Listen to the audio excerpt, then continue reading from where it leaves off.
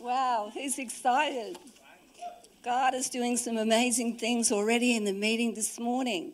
And I know that he, he said to me that some supernatural, he wants to do something so great and supernatural. And he already has, but he's going to do some more.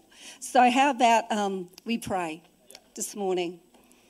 Thank you, Lord. Thank you, Lord, that you've given me this opportunity to speak for you, Jesus. That, Lord, I just surrender everything I am to you. That, Lord, I'm your representative today. I pray that I would represent you well. I pray, Lord, that um, you know how I've pre- prepared and planned. And Father, I pray that you would intervene in that, God. That, Lord, the Holy Spirit would just, oh, saturate us, Lord, this morning. Lord, that I just release hilarious joy over your people this morning. I release embracing love. I release strength over your people. I release courage this morning. Father, I thank you for that, God, and I just give everything to you, and I pray that you would receive the glory in Jesus' name.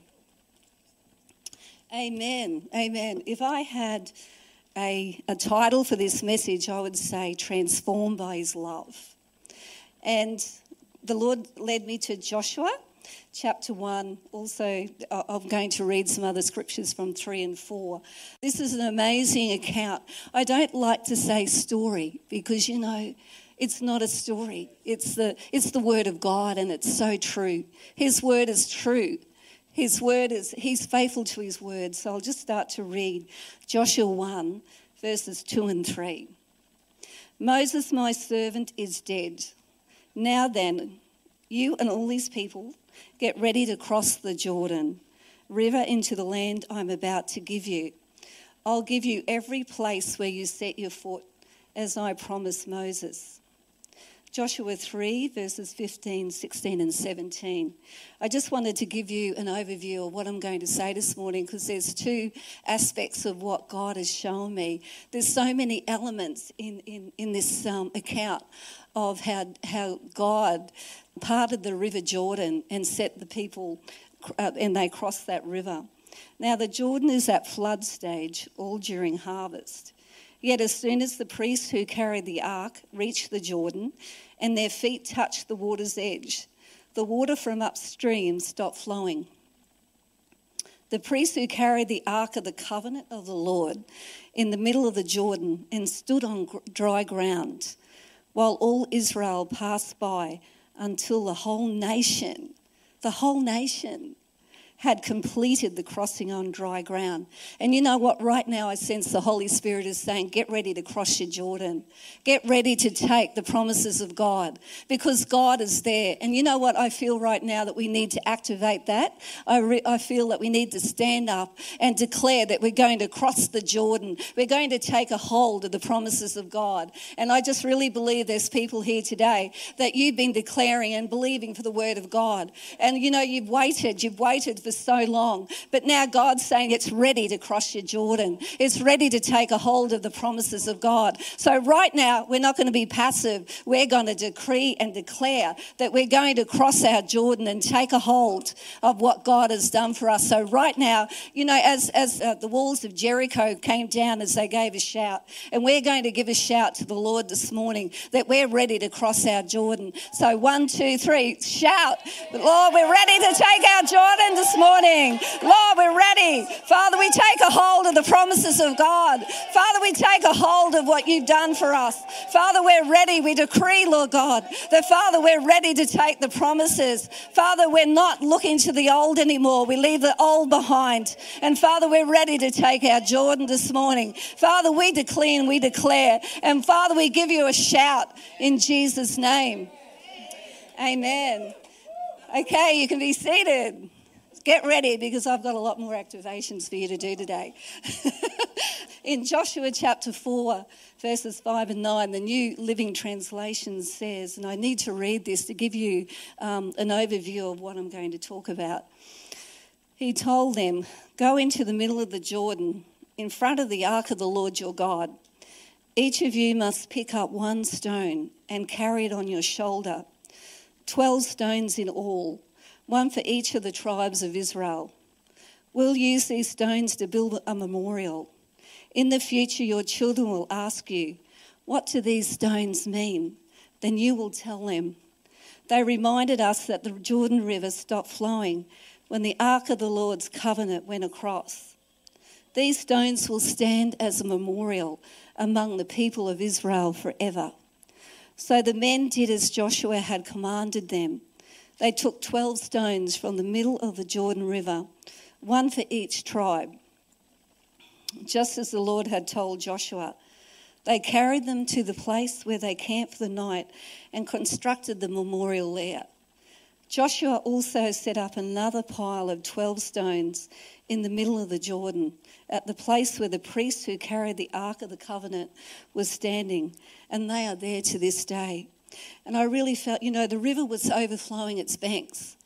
And can you just, I just want you to picture this account the river overflowing the banks, how muddy and, and the miry clay that it would have been as the priests walked down to the river edge.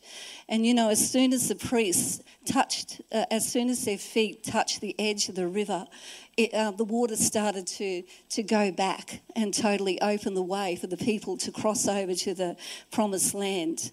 Just imagine, you know, that that riverbed was really wet and God, you know, the miracles that God performed in, in this account in Joshua is just so amazing that the God of miracles that did this right back then, he's here today. The God of miracles is here, and we've seen him in our midst this morning. That, you know, he dried, God had dried all that, that riverbed so that the priests went into the middle of the, of the river. And I was thinking, why did the priests go into the middle of the river? And I thought about it and I thought, well, you know, when the people crossed, the presence of God was before them. And when they went across, the presence of God was behind them. So God was surrounding them as they crossed that river.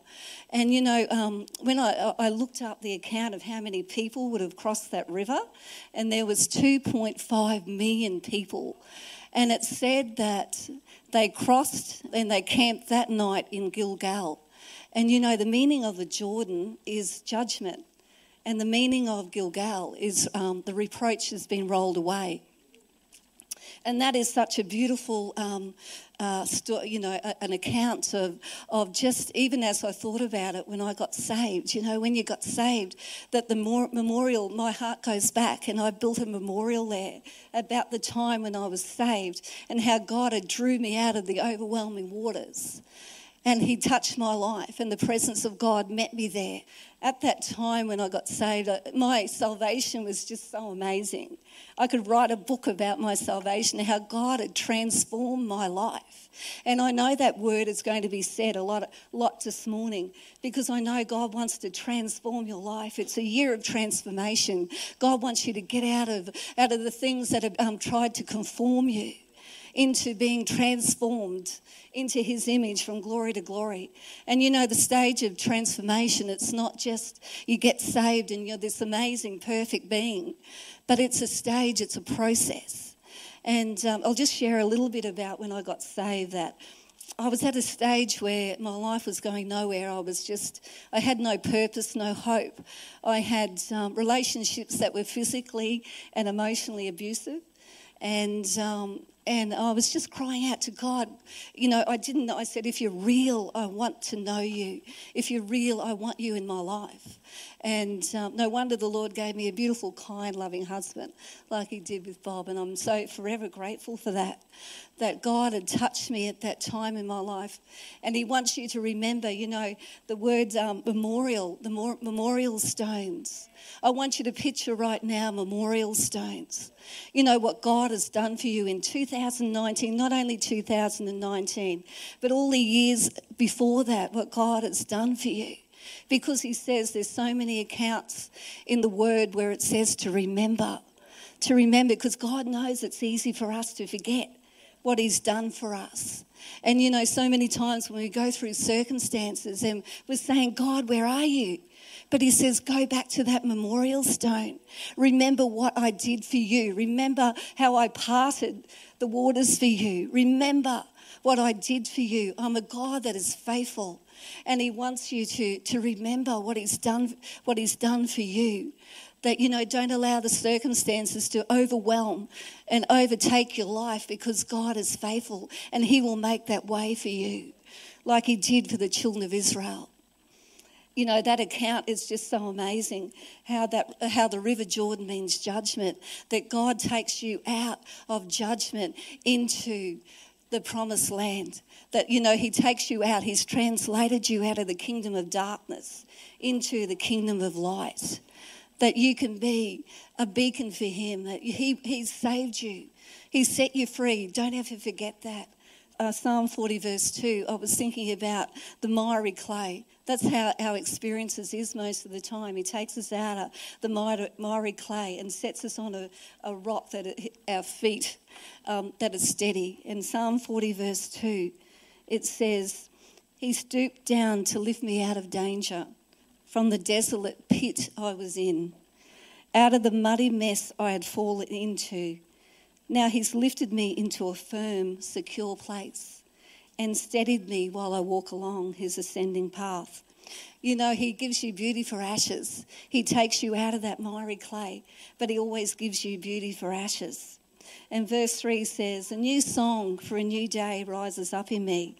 Every time I think about how he breaks through for me, ecstatic praise pours out of my mouth until everyone knows how God has set me free. Many will see his miracles. They'll stand in awe of God and fall in love with him. And you know, it was so great. Um, it was so good. Uh, uh, Pastor Steve in the last couple of weeks has mentioned a lot about, um, you know, just thinking about your salvation. And when he talked about that man, that was so, he shouted out, he, was always talking about how he got saved and how he um, praised God. Remember, last week, Steve was talking about that man. I thought, wow, that's, that was me. Everyone knew that Lesley was saved because I'd be the one. I, I, at that time, I was working in a nursing home and, um, and I'd be with the girls smoking and, and talking about all the things you shouldn't be talking about. And all of a sudden, my life had so amazingly changed that I was one. I was the one down the end of the table, and I couldn't get enough of reading the Word of God. And they'd say, what, what's happened to, Lesley? She's she gone mad? To religious religious nut, you know? And um, and I just couldn't stop talking about Jesus. And I know there may be some people here today that you don't know Jesus, and we're going to give you an opportunity later to receive him as Lord and Savior if there's anyone here, because he'll, he'll just totally transform your life. And, um, you know, it's about getting the Word of God into your life, just devouring it. That's how you become transformed. We've been talking about being a good steward. And, you know, we have to be a good steward of our own hearts you know, God, not only of money, but of our hearts, of our life, of our lifestyle. We have to be a good steward in everything we do. Yeah, transformation is an ongoing process. That um, there is a change that takes place from one form to another, and the Greek word is for that is met, metamorphosis and uh, I was thinking about the, um, the butterfly, how, and, and I looked up all the stages. It goes through four stages. The caterpillar goes through four stages and sheds skin and um, before it becomes a beautiful butterfly. And during that process, yeah, it sheds the skin. And when the butterfly starts to come out of the cocoon, it doesn't actually know that it can fly. And, you know, sometimes that's what our lives are like. We just don't know that we can fly. But God wants you to get a revelation of that today. He wants you to shed the old things, the old things that are, are taking hold of your life. He wants you to lay them down today. That, and um, you know, even though there's an inward thing that takes place in your life, transformation, love transforms you. Um, in um, as I go to, yeah, I went to Romans chapter 12, verses 1 and 2 out of that. And what trans, you know, the word says, be transformed by the renewing of your mind. That's the way we get transformed. It's not just living by a lot of principles, it's about being transformed by the renewing of your mind. And I just want to read those scriptures. Um, it says, Beloved friends, what should our proper response to God's marvellous mercies be? I encourage you to surrender. I want you to think of that word surrender yourselves to God to be His sacred living sacrifices and living holiness, experiencing all that delights His heart. For this becomes your genuine expression of worship. Stop imitating the ideals and opinions of the culture around you, but be inwardly transformed by the Holy Spirit through a total reformation of how you think. This will empower you to discern God's will as you live a beautiful life, satisfying and perfect in His eyes. And um, th- a few things stood out to me in those scriptures. One, one was surrender. We need to come to a place of surrender you know you can't do it by yourself anymore you can't you, you just can't do it by yourself you have to surrender you know surrender your dreams surrender your ideals surrender everything to the lord as a living sacrifice. And as you do that he'll always resurrect it. He'll always resurrect something out of your life. And as we read there holiness holiness simply means whatever delights his heart. It's not that you walk in holier than thou attitude but it's whatever delights his heart. You know, at the, just to be, as an example, um, I used to love a good thriller. And, uh, and I used to watch those, yeah. You know, it, God had told me, hey, I don't want you to watch that anymore because it sort of stirs up something in my life that it's not, it's not God. And, and you go away thinking, oh God, I just break out this fear. And, and um, you know, I, I, love a good thriller, but it's been a sacrifice to give up that. And so I've been, um, yeah, that's just a little example. But, you know, God's not talking about the big things in our lives, He's talking about those little things that you know that you're sitting in the front of the TV and you and you're loving a good thriller and he's saying I don't really want you watching this you know, it's just all those little things that God's talking to you about. And I love the, uh, the message Bible. It says, um, take your everyday, ordinary life. You're sleeping, eating, even you're eating. You have to surrender that sometimes. Hey, that's not good for me. I've been trying to do that. I've been trying, trying to surrender my eating and, um, and my sleeping. Well, don't stay up late and, you know, get up early in the morning. You know, going to work, that's a really good thing because sometimes you can be so, um, you know, the culture at your work can so come on you. You have to walk in there and be a different culture. I know when I used to work with community care and, um, and I'd go in the office and I'd look, one girl couldn't stand it because I was so joyful in the morning she'd say, "Oh, that Lesley, oh, she gets on my nerves." Because you know, I, I'm, I'm a happy camper. I don't get cranky in the morning. My husband can attest to that. I'll get up and have my coffee, and and you know, I just, I just can't stop laughing sometimes. And I and um, she'd get so annoyed. You know, I wasn't going to let her put that on me. And also, um, another area is when, you know, they start talking, gossiping about everybody in, in you know that you work with. And you have to stand up. You have to be you have to be different in that culture. You have to you have to be you know because you're god's representative. You know if my children represented me bad well i'd think what have i done? But Natty's a good example of she gives me the thumbs up there. Um, oh i love my family. They're just beautiful people. Um, yeah, so I wanted to expound also on renew. Renew means to make new. Get this one restore to freshness. I want everyone to say freshness. You're going to be fresh because you know, like you, you get that old grumpy face off, and you get a you get a bit of joy. You know, I um I was listening the other day. Did you know that children laugh 400 times a day, and adults laugh 15? That is pretty true, isn't it? I thought about it the other day. I thought, how many times have I laughed to myself today? I mean, you know, sometimes you do. You sit there and you laugh to yourself. Sometimes, you know, like you're in bed, you sort of start laughing. Bob says, What's, what are you laughing about? Oh, I'm just laughing about what happened, you know, during the day. But anyway, moving on. Um, I'm actually enjoying this right now like we're going to get to a place of just really we're going to laugh in a minute, hilariously. Okay, whatever truth you renew your mind to, you'll be transformed. You know, that is so true because, you know, what do you believe about yourself? If you believe that you're a good decision maker, you will be. And I also heard that um, if you believe that there is a solution for something, your brain will work that way towards that solution. It's about your thinking, isn't it? I've been reading, um, it's such a great devotional. It's um, Caroline Leaf and it's called Switch on Your Brain.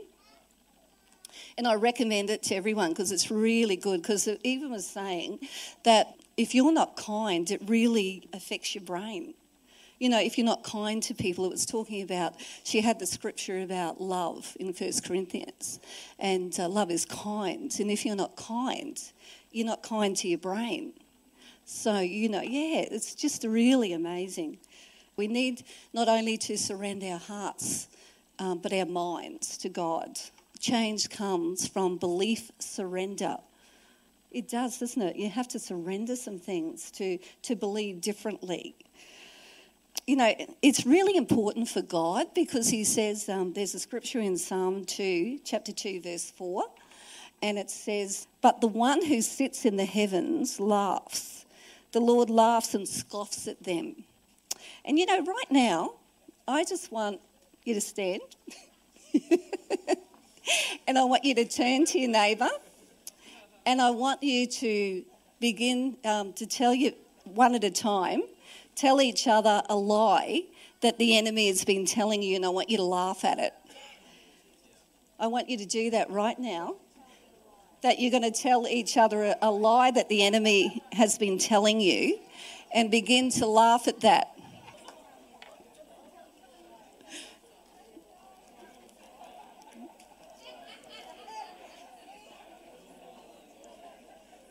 Come on, come on, begin to laugh hilariously. Laugh at the devil this morning.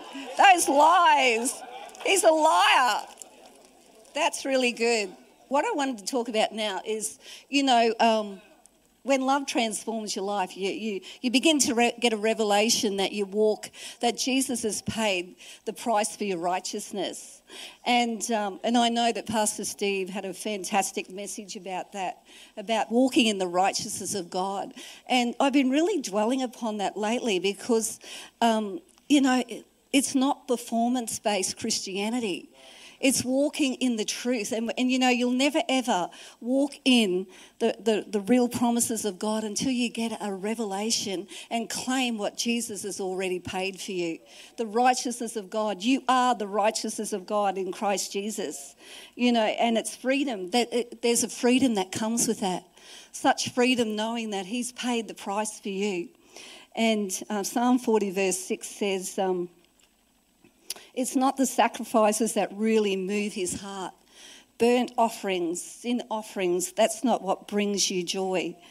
But when you open my ears and speak deeply to me, I become your willing servant, your prisoner of love for life.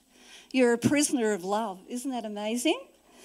The Lord isn't interested what you do for him. It's about freedom. It's about knowing that you don't have to do anything to become right just before I close off, I just want you to know that you're accepted in the beloved, that you are accepted. And the Lord said to me that if you don't believe that you're accepted, you'll find it hard to love yourself.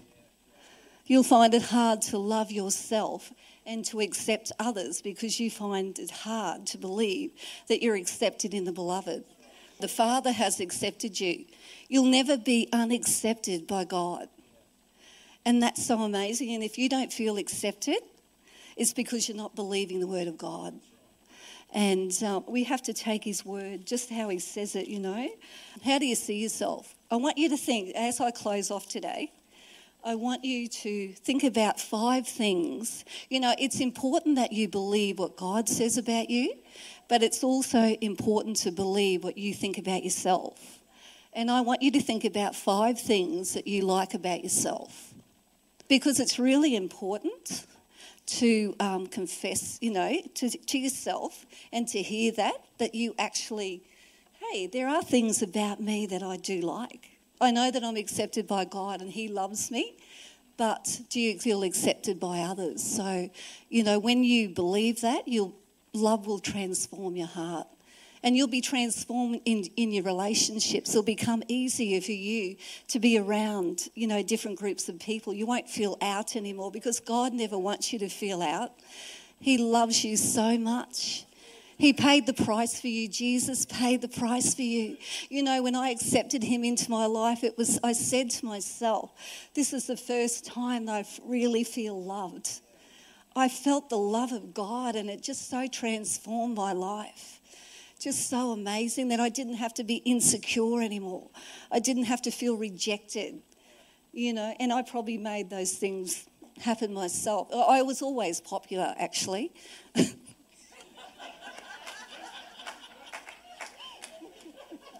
I knew I was popular, but inside I was feeling, you know, insecure and rejected. And he's done so much.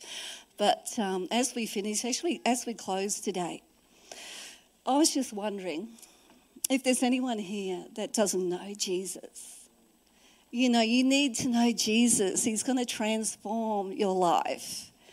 You know, He's going to take a hold of your life today and He says, I'm going to give you a new life. But you know, the, you have to put away the old things. The, the Bible says in 2 Corinthians 5:17, "Old things have passed away, and all things will become new." You'll have a new perspective, a new a new direction for your life. I just really felt to ask anyone that today, even if you feel like um, you need to come back. You need to, you, you know, God's always there. He always loves you, but He wants to draw you back into, into the fold, into fellowship, into connection.